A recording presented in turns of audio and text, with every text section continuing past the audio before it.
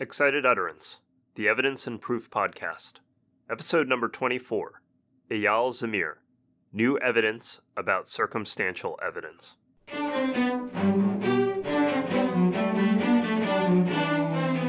Welcome to Excited Utterance. I'm your host, Ed Cheng from Vanderbilt Law School. Excited Utterance is your podcast for cutting edge scholarship and developments in the world of evidence. Our goal is to bring a virtual workshop to you every week throughout the academic year. This week, our guest is Eyal Zamir. Eyal is the Augusto Levi Professor of Commercial Law at the Hebrew University of Jerusalem, where he served as Dean of the Law Faculty from 2002 to 2005. His fields of interest include commercial law, economic and behavioral analysis of law, legal ethics, and empirical legal studies. Our podcast today focuses on Eyal's new article, New Evidence About Circumstantial Evidence, which is co authored with Elisha Harlev and Ilana Ritov. The article is a follow up to an earlier article that Eyal published with Ilana Ritov and Doron Teichman in 2014 in the Indiana Law Journal entitled Seeing is Believing The Anti Inference Bias. Since both articles are best understood together, We'll explore both of them in this podcast. In this series of articles, Eyal tries to get to the bottom of the legal system's preference against circumstantial evidence. A number of scholars, including Wigmore, have criticized the distinction between direct and circumstantial evidence, arguing that all evidence involves inferences, whether commonly thought of as circumstantial or not. The question thus becomes what explains the preference's uncanny persistence? Why are we simply less willing to convict on the basis of circumstantial evidence? Is the preference legitimate? And if not, what can the legal system do to get rid of it? Eyal, welcome to Excited Utterance. It's a pleasure to have you on the show. Thank you. So, circumstantial evidence.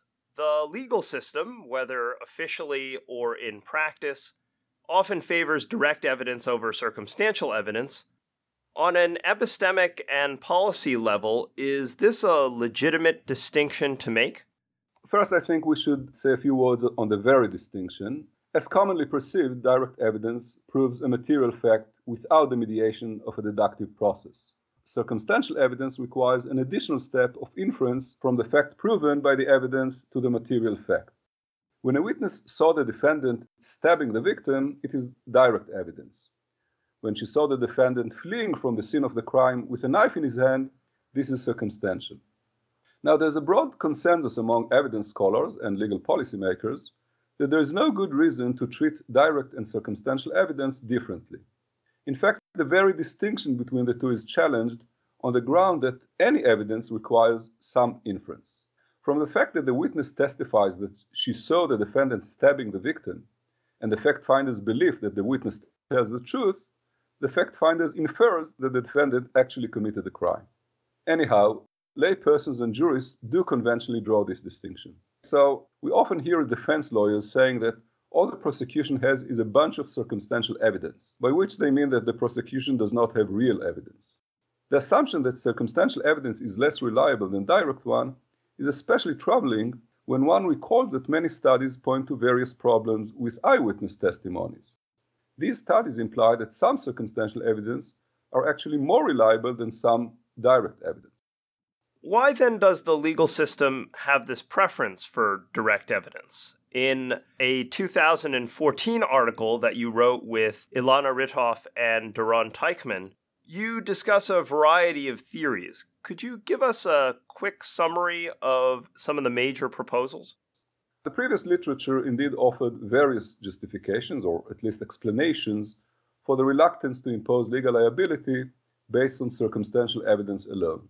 Much of the discussion has revolved around naked statistical evidence, which is one type of circumstantial evidence, but some explanations refer to circumstantial evidence more generally.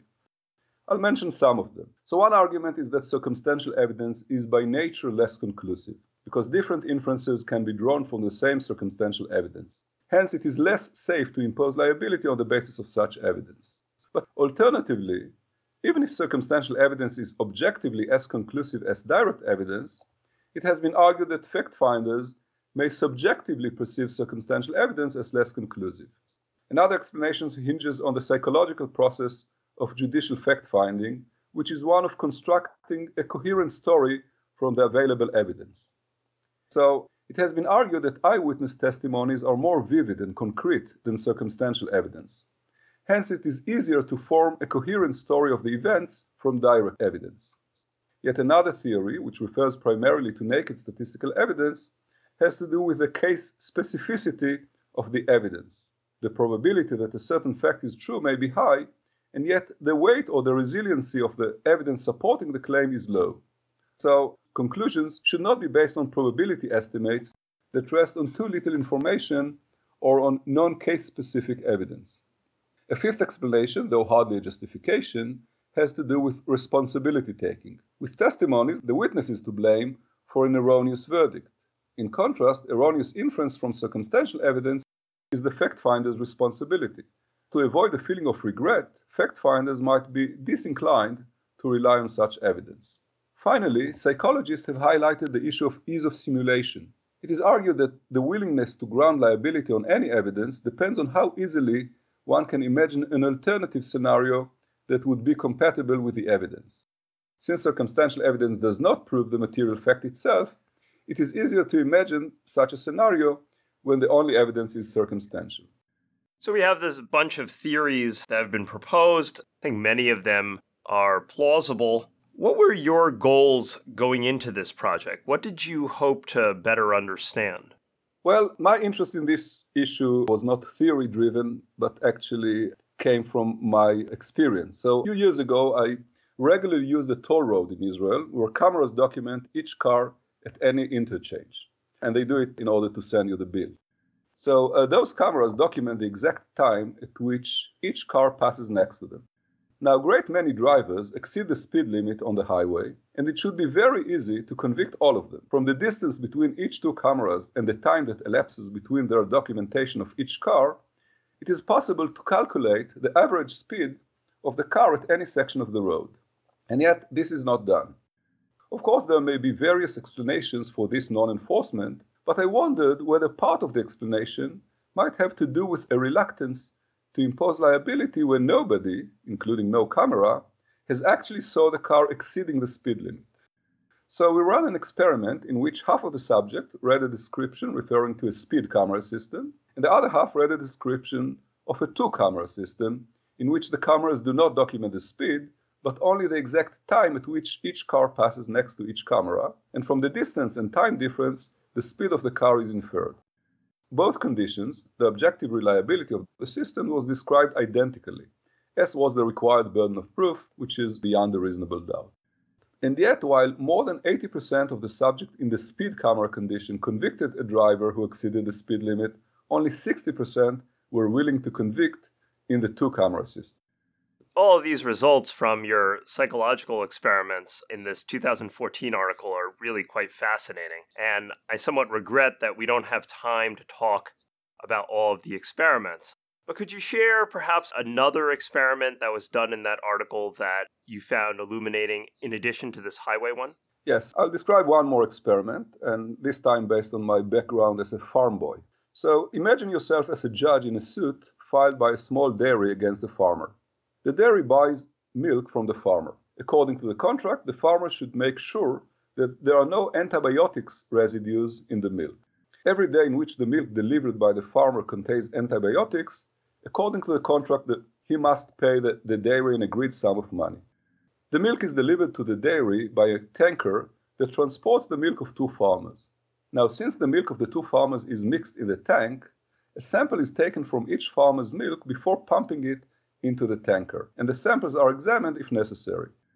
One day, the yogurt production process failed due to the presence of antibiotics in the milk. It is undisputed, and this is important, it is undisputed that the source of the antibiotics could only be the milk of one of the two farmers. So the milk samples of the two farmers were to be examined. In the direct evidence condition, the vignette went on to say that the sample of the other farmer's milk was lost in the laboratory Hence, it was only possible to examine the defendant's sample. This examination revealed antibiotics in the defendant's milk.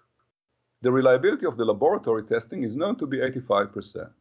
So, based on these results, the dairy claimed that the farmer should pay the agreed sum. In the inference condition, only the defendant's sample was lost, and when the other farmer's sample was tested, no antibiotics was found in it. Again, the reliability of the test was 85%. So the inference here is straightforward. Actually, it is inevitable. And still, we found that subjects were much more willing to accept the claim in the direct evidence condition than in the inference condition. And the result was highly statistically significant. So, while there were also differences in the subjective probability assessments, even when we controlled for those differences, there was still a significant difference in the willingness to impose liability. So it's clear that people prefer the direct evidence versus the inferential or the circumstantial evidence. As a whole, what were the lessons that you took from this first set of experiments? What were your conclusions? What characterizes our vignettes is that none of the previous explanations or justifications hold true for them.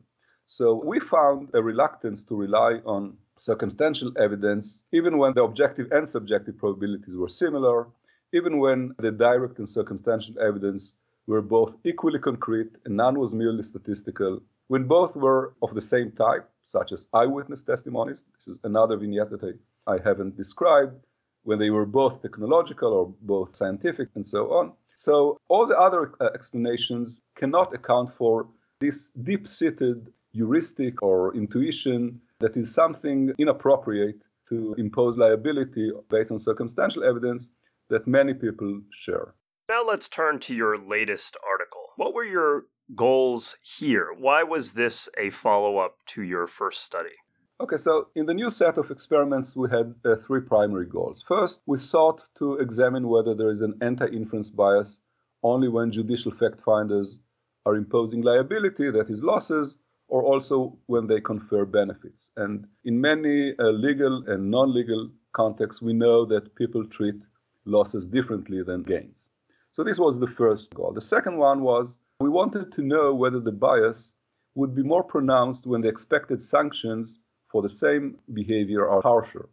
Finally, we wanted to examine how easy it might be to counteract the bias, which is, of course, an important policy question. Let's take that first goal. What did you find in your latest study about the anti inference bias with regard to benefits as opposed to losses? We found a relatively large and highly statistically significant anti-inference bias in the domain of losses and considerably smaller and only marginally statistically significant bias in the domain of gains. We replicated these results in a within subject design, that is, when each participant saw all four versions, that is, the loss direct evidence, loss circumstantial evidence, gain direct, and gain circumstantial.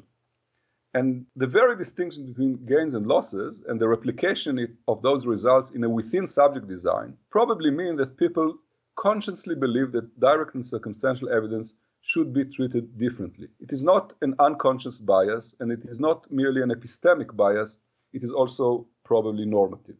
So let me broaden the discussion. Obviously, as academics, we're puzzled and fascinated by this anti inference bias and the general preference against circumstantial evidence, which we might feel even that the distinction is unfounded. But what are the practical implications here? Why should the legal system, as a policy matter, care about the existence of this anti inference bias? Well, while it is important that judicial decisions would cohere with prevailing epistemological and normative intuitions, it is at least as important that courts would treat similar cases similarly.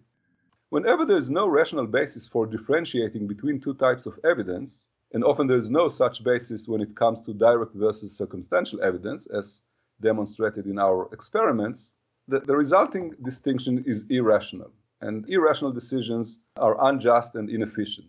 Inasmuch as the laboratory findings capture the realities of judicial fact finding, the anti inference bias is therefore quite troubling. Are there ways to combat the anti inference bias? Normally, when we talk about these kinds of psychological limitations, we talk about debiasing jurors. Can we debias jurors by recasting losses as gains, or can we inform juries that the bias is at work so that they can fight against it? As I mentioned before, we actually ran an experiment in the latter article in which we tried to debias the anti inference bias, and without getting into detail, our attempts largely failed. In general, studies of jury instructions have shown that such instructions are not very effective in overcoming psychological heuristics and biases. As for reframing of, of the decision as entailing gains rather than losses, this is also rather tricky. First, this suggestion seems relevant only for civil disputes, where it might be possible to draw fact finders' attention to either the gains or the losses aspect of the decision. In criminal cases, the defendant is always about to lose something. But even in civil cases, this reframing is a two edged sword. As it is possible to frame a dispute as involving either gains or losses, we can expect a framing battle between the attorneys. And the idea that uh, the party who wins this battle would win the case is not very appealing.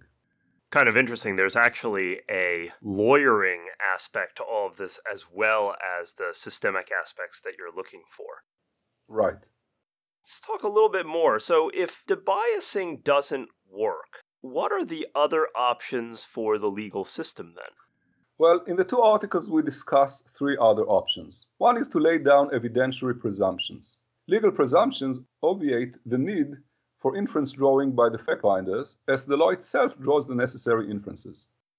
Take, for example, a rule according to which a person who possesses a certain amount of drugs is presumed to be a drug dealer unless he or she can provide compelling alternative explanations. Under such rule, fact finders do not have to draw the inference themselves. Hence, the anti inference bias is largely neutralized. Second, the legislature may change the substantive rules, for example, by criminalizing preparatory behaviors such as carrying guns.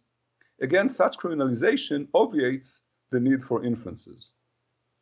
Finally, law enforcement authorities and others may take steps ex ante to make sure that they have direct rather than merely inferential evidence. For example, CCT systems, uh, closed circuit television systems, provide evidence that people considered as direct rather than inferential. Final question for you, Eyal. Where else is there work to be done in this space? What are the issues that you and your co authors would like to explore next with regard to circumstantial evidence?